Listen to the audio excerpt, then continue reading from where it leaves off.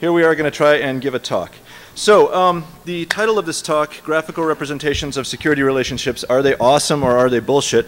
Um, you've probably already formed a strong opinion by this point in my screw-ups. Uh, so, here we go. By the way, I like doing presentations just with plain HTML. I can't believe how many hacker cons I go to and people are using PowerPoint. It, um, I was in the speaker green room before we got started and EFF people were there getting ready for their um, panel which is going on simultaneously. And one of them actually said, although uh, she admitted this was not her original quote, she was citing it with fair usage in mind. Um, she said, uh, power, power corrupts and PowerPoint corrupts absolutely. So the, the beginning is, uh, is this. You know, we had this problem of collecting huge amounts of information, and that's not rare in the security scene, right? Uh, you see, you run a Nessus scan, you see a ton of, you know, kilopages of output. You're running a, a syslog server, you get a ton of stuff. And uh, how many people attended Raffael Marty's uh, talk on Afterglow? All right, that was a fantastic talk, and he's smarter than I am, but I'm going to do some different things based on some of his work. So we have uh, the problem of large uh, collections of information. Um, and we have two issues here. One is, let's say you look at a Nessus scan of a network and you get um, you know, a, a, lot of information. There's two problems. The first one is, does, this does any particular piece of information in that scan output make sense to you? That's hard to say. Um, and then the second thing is, uh, do these two pieces of information go together? And that's hard to say too. Um, one of the problems with vulnerability scanners in general, of course, is that they look at each uh, system that they scan as just its uh, world unto itself. They don't understand that they participate in a, a, whole environment. They don't know what kinds of things are important about them and so forth. And so we're going to try to do, see what we can do uh, about taking the information that they give us and making it more useful. So this is a picture of someone who believes that vulnerability scanners actually describe the security of their network. You can see he's got a, receipt, a seat reserved there on the bus.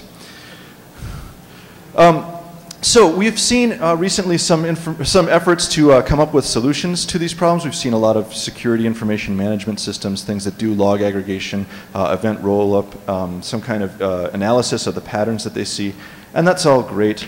Um, and then we also have seen in the non-product side of efforts to fix this uh, problem or address this issue, we've seen two, uh, two sort of parallel efforts. One is the increased emphasis on threat modeling, and I'm not a big zealot about uh, fancy methodologies and producing documentation just so. When I talk about threat modeling, what I really mean usually is just being organized and consistent about how we describe things and rate them and rank them so that we are internally um, able to make apples to apples comparisons, even though maybe nobody else in the world understands what we're talking about. So uh, basically, formal processes in place to make sure we're being thorough and we're being systematic about the way we describe risk. The second thing that we've seen uh, getting a lot of attention lately are these operational frameworks, things like uh, ITIL, COBIT, uh, ISO 17799 or 27001 if you like fancier numbers. Um, uh, or the incident command system for, for incident handling. These are things that are trying to make uh, responses to situations predictable and um, minimize risk through process.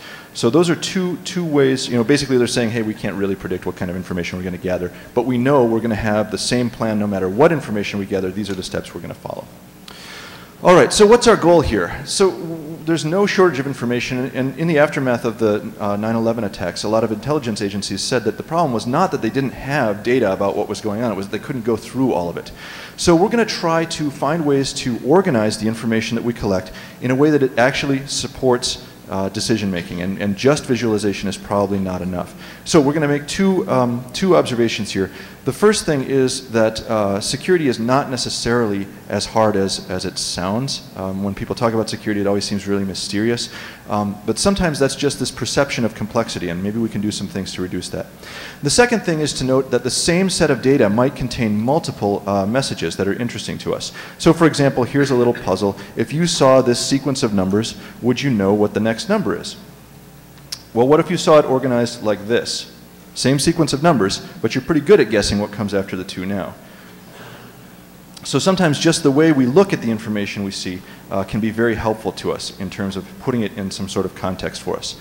So now we're going to make the transition to the scary math portion of the presentation, and we're going to talk briefly about graph theories, uh, graph theory.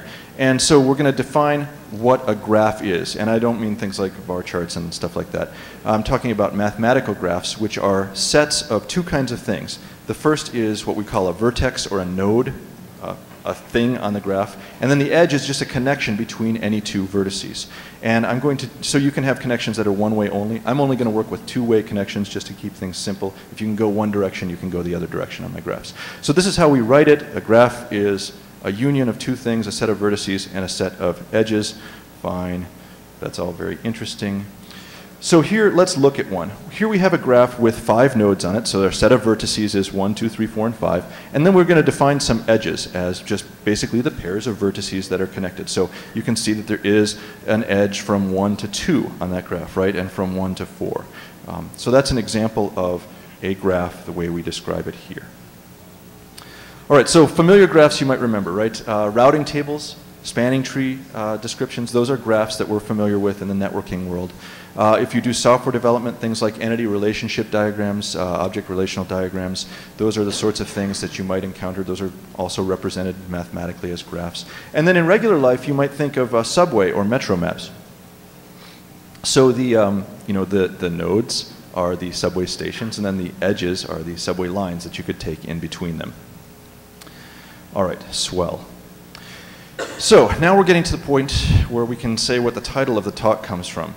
Uh, I did some work for an educational institution, and they wanted, one of the things that they wanted was a map of their network, and it was a large national network. Uh, it was confusing, and they had lost track of it, so they wanted to know where it was and what was connected to what. Um, and so I built a tool uh, for doing this using these graphs, right? So we have two, two types of nodes. We have routers, which uh, are one type of node, and then a net block like, you know, 192.168.0.0 slash 8. Um, so that would be a net block. So we got those two types of nodes, and then an edge is just a connection between a router and a net block.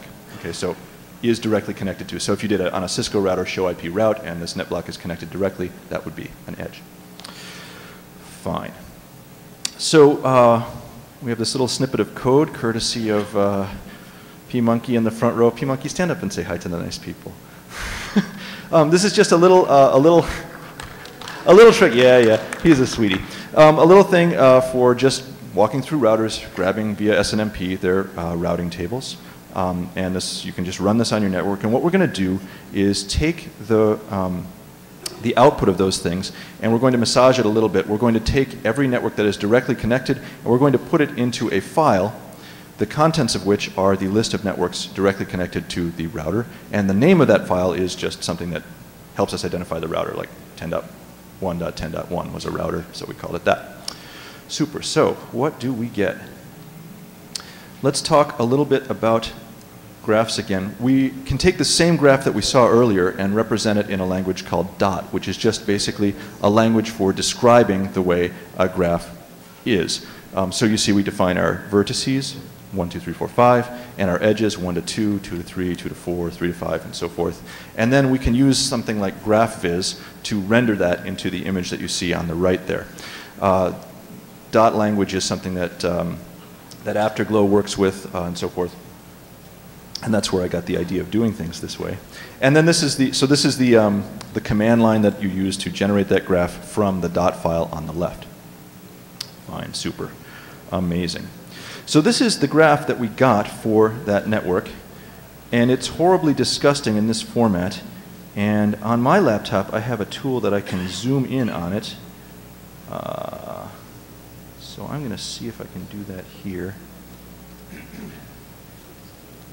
Note my one-handed Windows skills. Uh, no, no previews, please. Just this. Let's see if we can see it a little larger. All right. Now there's a kind of a magnifying glass over here. So let's just zoom in on a portion of the graph.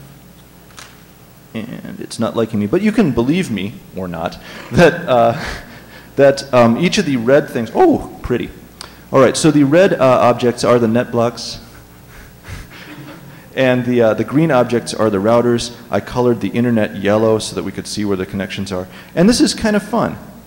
Uh, and so I was very proud of this tool, and I wanted to show it off, and so I sent it to a mailing list internal to my company uh, about how swell um, Cisco networking technology is. And I sent it to that, uh, hoping that everyone would be very happy with me and praise me. And I got exactly two responses from the two engineers that I like and respect most at the company. And one of them said, this is awesome. Um, you know, I want to use this all the time. And the other one said, this is bullshit. It doesn't tell me anything. And so that's why we're calling the talk this. So so now we come to the central question. Is this awesome or is it bullshit? So I think there are points to be made on either side. On the awesome side, this has very strong nerd appeal, right? We can all agree that uh, there's a simple image here and it's summarizing a great deal of data, and that's kind of cool. And so you could, if you had a magnifying glass and a sufficient patience, you could find any piece of information that you were interested in, in in, there. This is a whole lot easier than drawing that whole mess out by Visio, and it's cheap too because the uh, because the uh, you know the software is free and you can it's on your CD. You can just have it. Um, however, on the opposing side, uh, it looks just like a spirograph. Um, it doesn't really convey any message. It doesn't support any conclusion, right?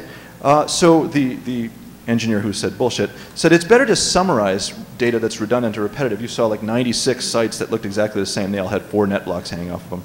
Um, you probably all noticed that, right? Um, and so graphs like this might actually distract from the information that you're trying to find. And it might minimize the importance of problems. And that's not what we want when we're trying to make a point about security. All right. So uh, let's talk a little bit about what, uh, what the, my central theme here is.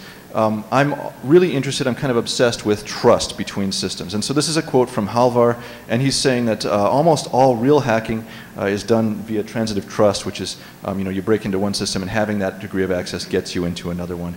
Uh, and, and he says, my favorite quote, transitive trust and real hacking gets too little credit at security conferences. I'm on a personal mission to change that and have been for some years now. Um, another quote that I wanted to uh, cite was uh, from my uh, colleague Shrdlu over at the side of the room. Um, she was participating in a discussion with Steve Christey from MITRE. Uh, he, he, asked the question, what is the state of vulnerability research? And uh, the very excellent point was made that uh, really what we consider vulnerability research is generally not research the way formal academic research is. And there should be um, maybe some uh, degree of emphasis on trying to make this a little bit more rigorous. And I like that point. Um, I also am sick of the idea of just data for its own sake, and that's what's wrong with the spirograph graph, right? So this is a, an old essay from Bruce Schneier when he's trying to make the point that counterpane is cool. Um, so 41% uh, of the attacks we saw were unauthorized activity of some kind, well, as opposed to this, you know, 59% of authorized attacks, I'm not sure. 21% um, were scanning, you know, what does this information do for you? What, what do you make out of that? How does that help you live your life better? Um, so I also cite a number of different sources. Uh, one is Dan Burrows' talk from DEF CON 9, uh, which introduced me to the idea that you could actually do math on data that you collect. Um, the second one is uh, a, a, research that I'm familiar with from the UW-Madison near my hometown. And uh, this is a person who does um, uh, computation on graphs, uh, trying, to, trying to do computation on graphs that represent attack patterns. I'm not doing fancy model checking, which is this strange algebra on top of the graphs. I don't bother with scary stuff like that. Uh, Raffael Marty's talk at DEF CON 13 blew my mind, and that made me want to start drawing pictures. And then uh, Chaos Golubitsky's talk at LISA 05 on uh, using um, automated tools to draw security conclusions, uh, specifically uh, computing attack surfaces. This is really interesting stuff. I recommend all of these um, pieces of research to you if you are having trouble sleeping and just want to know more about this stuff. So we have a number of tools uh, previously released that we have incremental advances to. All of these are available from foofus.net. Uh, the latest revision of OWNR is not up there yet. I'll put it up when I get back. Um, basically, this is just a NetBIOS information gathering tool. Uh, it's sort of general purpose. And the nice thing about it is that it um, puts things out in comma-separated files or character-separated files so that you can quickly uh, find things in them using grep and cut, which is my favorite. Everybody should have a favorite, favorite Unix utility minus cut. Um, uh, we've made some improvements since it was shown then. Uh, it's actually thread safe, so we can do multi-threaded analysis. Um, we've improved the Active Directory functionality and so forth. Uh, it's, it's fun. Another tool is FGDump, written by Fizzgig down in the front row. Fizzgig, stand up and say hi to the nice people. Uh, this is a replacement for PWDump. It is way better. Uh, Fizzgig also released PWDump 6, but it is superseded by FGDump. Um, it is smart. Uh, enough to do things like turn off antivirus and anti-spyware things that it encounters so you don't DOS the machine that you're trying to dump passwords out of. Um, it does a lot of nice stuff. Uh, so it was initially released at ToorCon 7. There was a much better release around Christmas time, right? Uh, yeah. Uh, so it's, uh, it's very nice. It's a sort of a Swiss Army knife password dumping tool it gets cached passwords and password history and stuff like that. Very fun. Uh, another one is Medusa, written by Jomo-kun, who is not in the room. He's off seeing the EFF, um, and I'm gravely insulted. Uh, it's just a good uh, password grinder. It's a replacement for Hydra from THC, uh, but it's designed specifically for giant multi-threading. It's very modular, and you should get it, and you'll love it. All right, so where are we? We're back to our matrix here, uh, our, our graph here. So we've seen the dot representation of that graph. We've seen the visual representation of the graph. We can also have a mathematical one. So we're going to make ourselves a little matrix, and the edge columns are just labels, right? 1, 2, 3, 4, and 5, and 1, 2, 3, 4, and 5 down the sides. And what's interesting is the cells in there. Can I highlight this? Well, not really. Anyway, so rows like this. So for each cell, what we do is if there is a connection between node 1 and say node 2, we're going to put a 1 in that cell.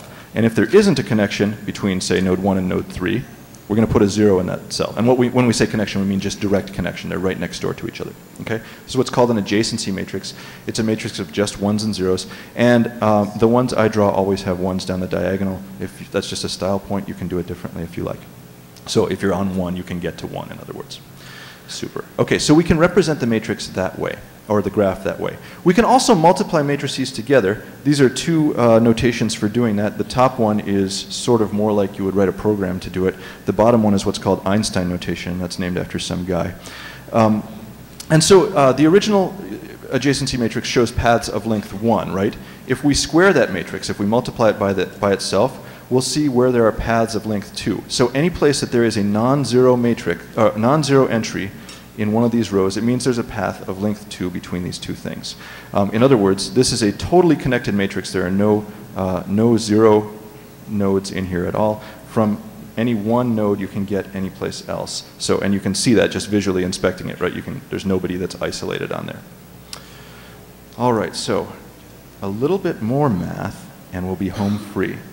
So you'll notice, you'll remember from your algebra classes, right, the geometric series there. If you have this polynomial 1 over 1 minus x. If you actually were to take a piece of paper and divide that out, you'd get 1 plus x plus x squared plus x cubed, and so on to infinity.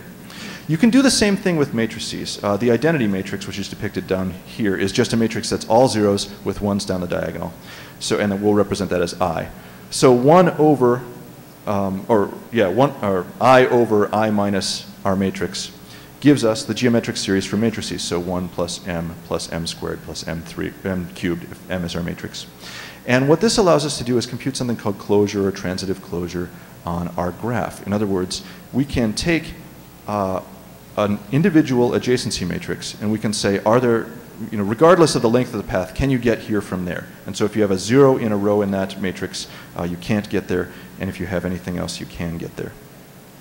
So if we had a way of building matrices, we could quickly compute the set of nodes that are accessible on a network. So the set of non-zero elements. Um, and that might be awesome and not bullshit. We'll see. So here's how I've been going about it. I take um, a number of different tools, OWNR, to gather user account information. Um, Nessus gives me information about vulnerabilities on systems. FGDump grabs passwords for me. Um, Medusa sees if those passwords work anyplace else that I haven't touched. Uh, and what we do is we build ourselves an adjacency matrix out of that. So an adjacency matrix is, oh, there's Dan. Hi, great talk. Um, so um, uh, an adjacency matrix uh, out of this. So what we're going to do is anytime we have passwords from a system and you have a user account and password, that is repeated on another system. So system A has user Peyton. Oh, that's me. I outed, outed myself. Damn. Um, user Foofus is on system A, and then uh, user Foofus is also on system B, and the two passwords match. We're going to describe those two systems as adjacent, and this is Halvar's idea of transitive trust. If you hack one, you get to log into the other one for free. All right, so we're going to build a, uh, an adjacency matrix out of that, and on your CD you have a tool for doing that. Um, and what I have been doing is uh, then doing some cleanup if you have multiple domain controllers on a network, uh, you want to prune those out and reduce it to just one because they're the same anyway, etc. Um, and we're going to convert that to dot language and we're going to draw a picture of it and uh, that's going to be cool and everyone's going to think we're neat. So this is a school district um, measured this way. And again, we have the same problem that we did with our other graph. Let's get rid of this and let's bring up this guy. So here we've got um, about 312 different systems, which are represented by the blue uh, ovals. Those are computers. And the orange rectangles represent connections between those computers. So if we keep zooming in, uh, you'll see, come on, we just want to get to the point where it's legible. Um, so what you'd see is um, IP addresses inside the blue uh, kind of circles, and then inside the orange rectangles you would see a username and a password hash that match between those two systems. And that's kind of neat because what we can see all of a sudden is that we've got 314 systems on this graph. 312 of them are connected by some kind of transitive trust. So in other words, if you hack one, you can basically romp all over the whole darn place. And uh, what's sort of a couple interesting points. One is, oh, wake up, laptop. If we, well, you saw there was that big sort of soccer ball shaped uh, circle of nodes surrounding one account, which we're trying to get over to. Um, that account happens to be named administrator. That's a password shared between, I don't know, a couple hundred systems. Um, let's just go back to the other view, and you'll just believe me that this is true. Um, also, you'll see that down here, there's a yellow octagon. If you have good enough eyes in this resolution, you might be able to see right there is a yellow octagon. That represents the domain controllers. Um, and so basically there are, if you hack any one of these systems, you can get to all of them, including the domain. And that's, you know, kind of significant for their security. Um, they thought that all they had to do was keep the domain controllers secure, but it turns out that the project of keeping their network secure is equivalent to the project of keeping all 314 systems on it secure. If one falls, they all fall. So that was kind of fun, but um, that graph really only conveys one message, which is you are owned. Um, it does not help with anything else. Um, and, uh, and we want to see if we can't uh, make it tell us more interesting things. So uh, I call it this is somewhat bullshit, um, even though it was fun to make. So here's a little intermission for you. What do you think of this graph? This is from um, Greg Hoglund and uh, Gary McGraw's book, Exploiting Software. Um, and I just love the caption here. This graph is rendered in three dimensions. First off, no it's not. It's sitting right there on my screen. Each node location, each code location looks like a small room. I don't know what kind of rooms they live in, but um, we use the OpenGL package to illustrate all the code paths leading toward a vulnerable sprintf call in the target program. So let us just assume, they don't label it or anything clever like that, but let's just assume that this is the vulnerable sprintf call because everything seems to sort of be leading there. What are we to make of this graph? What on earth does it tell us? What, what is this room which is not connected to anything? So what, what, what do you say, awesome? Or, yeah, maybe. That, this is what I think. Um,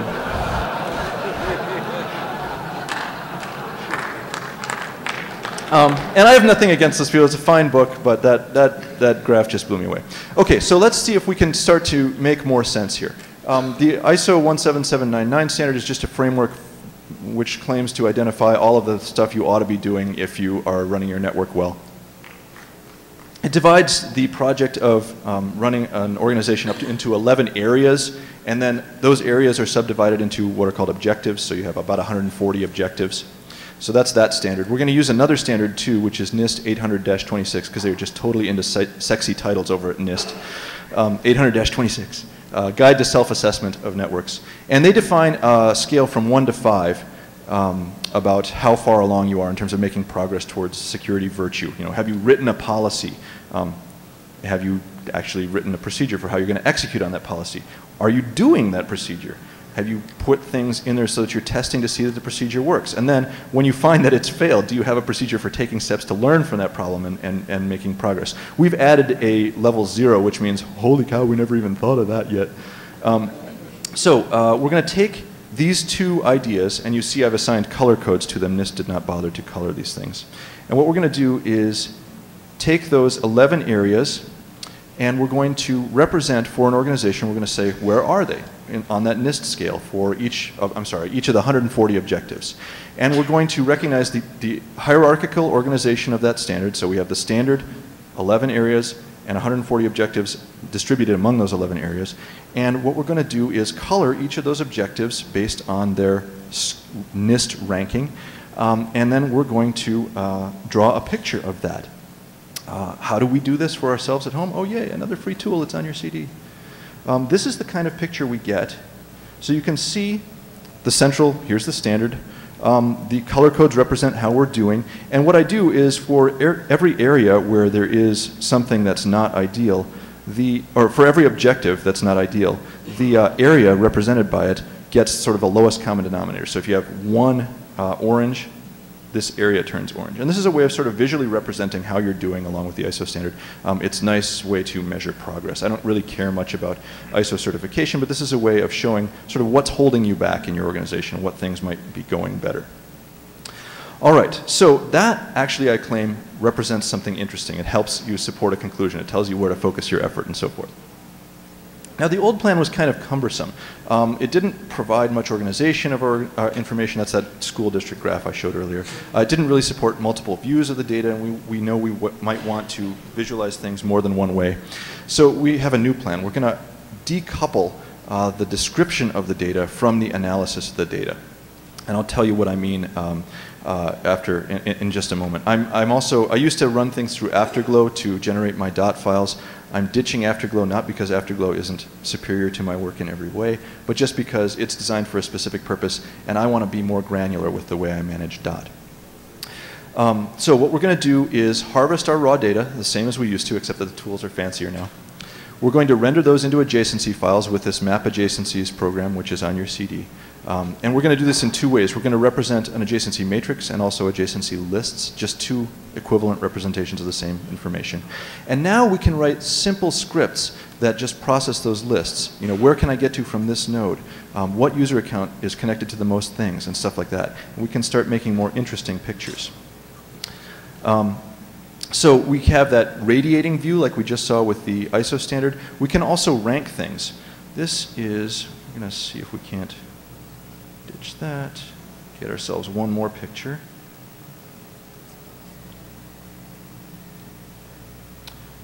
We can also draw things uh, ranked as trees. This is a manufacturing company. Hopefully this one will zoom in a little faster than the others. Pardon? Draw, oh, draw a box. I don't know how to draw a box. All right, all y'all box masters out there are better than me. Um, so anyway, what's interesting here is we see that this system up at the top, from there you can get to one system. From this one, you're connected to just about everything. All these are interconnected. Um, that goes down to another stratum. And then what's interesting here is that the farthest away, what this shows us on this network is the farthest away you can be is one, two, three, four hops. Within four hops, you're every place on this network. And I think that's a sort of more interestingly organized presentation of the same kind of information we had before. Um, it actually supports uh, some kinds of decision making. What if we isolated this system? Then everyone would be safe against attack from that. Or, you know, which is, what is this one account that's shared between all of these? Maybe we could, we could get rid of that. Um, I think those are the sorts of things that will help us actually make progress. All right, now. Um, uh, the way I assigned the rank for the top system, oh, that's a great question.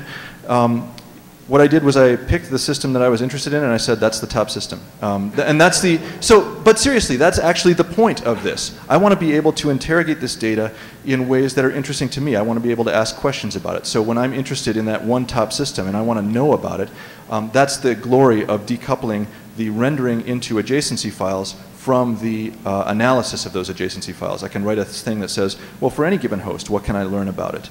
Um, and that's, so I don't know who asked that question, but that was a good question, and thank you. Um, alrighty. So uh, this is a familiar graph which I stole from uh, Counterpane. Um, this is what's called an attack tree. And the goal, uh, basically the, the, the goal here is, you know, I want to open a safe. So what are the different ways that could happen? I could pick the lock. I could learn the combination. Well, how might I learn the combination? I might find it written down. I might get it from somebody. How might I get it? Well, I might threaten them, or I might eavesdrop on them, etc. So this is a, a way of sort of modeling your adversary's decision-making process. And what I'm hoping is that graphs like this can actually model, well, if this is the system we're interested in keeping safe, um, wh what are all the ways you could get to it? Uh, and that's a sort of interesting question, I think, to be able to ask and answer. Alrighty.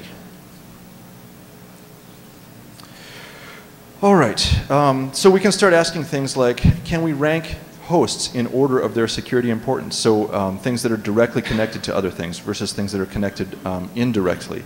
Um, can we, um, if we, if we know uh, where, what we're interested in protecting, can we say all of the different paths to it via transitive trust? Those are the sorts of questions I'm hoping we'll be able to answer with, uh, with our new, newfangled tools. Um, and then you have this idea of degrees of separation on the network, um, emphasizing the importance of like one central system that's, or central account that's connected to all others. All right, so how does this line up uh, in terms of what we actually are experiencing in the world? Here's the old window of vulnerability problem, right? Um, you have uh, security nerds are always telling you to think about risk in terms of dollars per year, right? Annual rate of occurrence of security incidents versus the, you know, the cost of a single security incident, single loss expectancy. Um, and when you have a security solution, um, most uh, products that people notice, security vendors never sell you a product, they sell you a solution. Um, when they sell you this solution, what they're really focusing on usually is reducing the frequency of security incidents. So we, we buy a countermeasure that is supposed to make it impossible for certain things to happen to us. Um, but uh, so what's interesting about this graph, um, which is this is sort of trying to model the way the big internet worms of the early part of this decade happened. Um, you'd have always some some background noise of systems getting compromised, and then someone would figure out something was wrong uh, with the system. They'd learn how to hack it. Stuff would start getting owned. Um, usually a patch would get introduced, but nobody paid attention to it. Then someone would automate the exploit and things would go through the roof. Then we'd start patching. Uh, and then most things would get patched over time, but it never all gets patched, right? If you run a web server and you look in your logs, you still see code red sweep through a couple times a year, or a couple times a month, pardon me. Um, and uh, it never was zero to begin with. The people finding the 0-days make sure there are always systems getting hacked, and we don't know what's going on with them. Uh, that's uh, alien technology that we don't know about.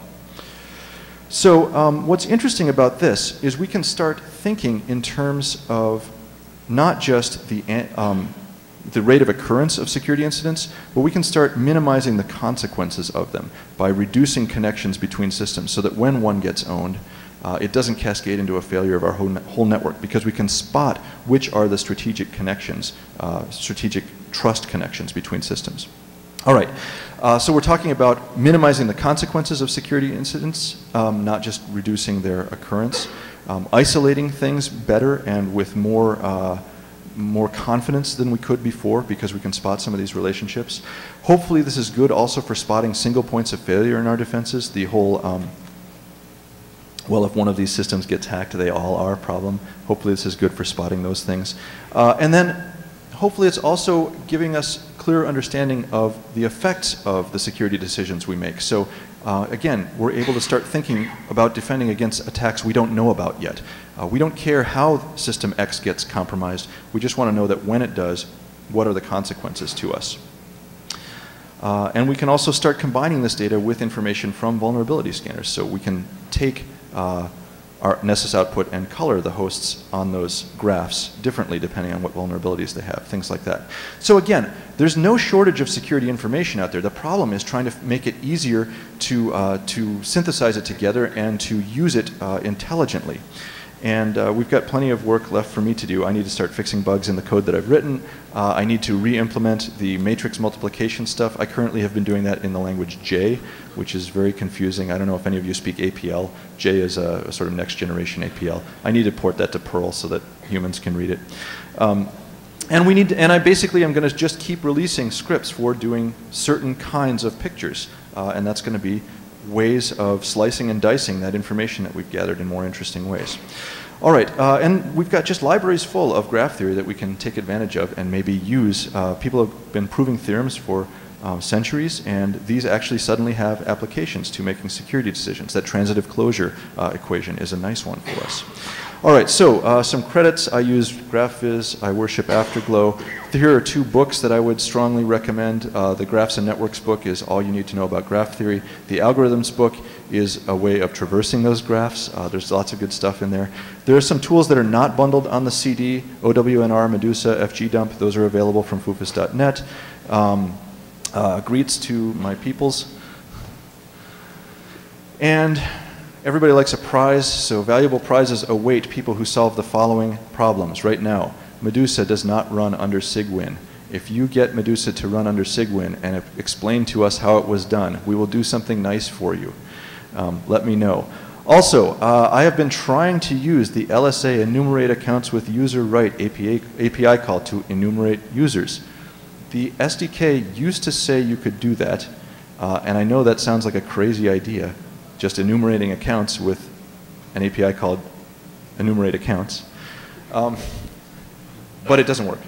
Uh, it doesn't work the way it's supposed to, at least. It doesn't work the way the docs say. Now, I noticed about a week before I came here that, that Microsoft has revised the docs, and it no longer says explicitly that you can do that. It sort of hints that you can, um, but they're, they're being a little bit cagier about it. So um, if anyone makes a program that actually, in C or C++, that actually can enumerate all users on a system using that API call, let me know. Again, something nice will happen to you.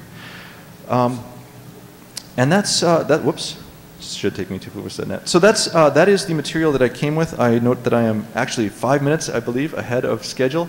And um, so I would love to take questions. I apologize for the delays at the start, uh, and I also apologize that I couldn't show more interesting uh, graphs. Um, porting from one computer to another all of a sudden was an unexpected thing. Special thanks to, this is Foofus of foofus.com. It's amazing, first up, that there are two people with this handle, and then that we should meet at DEF CON is doubly amazing. Um, but he loaned me his laptop, and uh, thank you, man.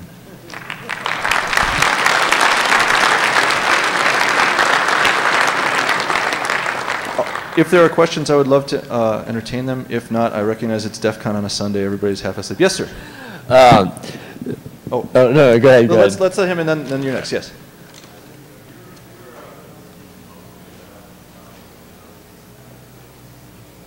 Right.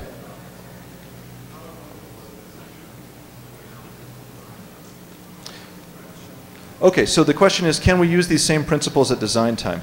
Um, I think the principles are very applicable. The problem is what I'm, well, usually when I get to look at a system, it's already out there in the world. Uh, so I haven't done that work. Certainly you could draw, certainly you could draw connectivity graphs of things that don't yet exist. The, the, I guess the utility that I've perceived in what I'm doing is the ability to spot connections and things that do exist. So at design time, you're doing it basically, it would be an on-paper exercise. I think you could definitely use this for weighting some of the conclusions that you draw in threat modeling, but it's, you know, until it exists, it's not really rigorous because uh, even the best plan can be bungled in implementation, and when you're talking at design time, you're only talking about planning stuff. All right, yes, sir. Yeah, um, so have you thought about uh, taking your graph data and piping it into some really cool, uh, like interactive graph exploration sorts of So the, uh, the Dan tools? Kaminsky, we're going to do video of trust graphs. Yeah, exactly. Um, uh, I have. I've played with LGL a little bit, and I've done a sort of 3D fly-through look. Um, most of this I do for putting in documentation though, and so two-dimensional static representation has been my favorite. It's totally compatible with that. The yeah. dot language is very flexible, and you can represent that in a variety cool. of different things. I've been using yeah. GraphViz, but if you like fancy twinkles, go for it. Yes, sir. Have you considered uh, doing directed graphs where you represent the uh, undirected graph with two directions and having different weights to represent things like firewalls and, and stuff like that? Yes, so as I mentioned before, all the graphs that I'm drawing are undirected, which means every connection goes two ways. It is possible to think in terms of one-way connections. Um, what I'm focusing on right now is transitive trust relationships or implied trust relationships most of those are two-way, so I, yeah. I, haven't bothered with it. But yeah, in terms of the dot syntax, all you do is instead of saying graph, you say digraph, and you draw your edges differently. Uh, they have direction. Okay. Um, so the the facility exists, it just hasn't been something that I've focused on yet. Well, what, what about weighting the, the, the uh, cost to go through and then trying to analyze that to see how hard is it to get to a particular node from, say, the internet? Yeah, that's, uh, that is interesting uh, stuff, and I encourage you to collaborate with me on this research. Um, one, um, one thing there that, you know, if, you, if we look back at this tree example, one of the interesting things here is that the graphs that I'm looking at are what I would ca- call highly cyclic graphs. There are usually sort of loops that you can go through and multiple paths between things. And one of the things that I'm interested in doing is implementing like a, an open shortest path first uh, algorithm so that we can do things like wait, what is the quickest way from point A to point B on the graph? Uh, I'm not doing that yet, but that is something that I certainly intend on doing. Again, those are all algorithms that exist. I just have to port them to my model of the data. Have you tried a correlation matrix instead of an adjacency matrix? Um, maybe. I'm not smart with math. If you want to talk to me later, I'd love to learn what that is. um, can I draw a correlation matrix instead of an adjacency matrix? I assume I can. yes. She, smarter person says yes. I don't know what it is, though. All right. Thank you very much. You've been very patient.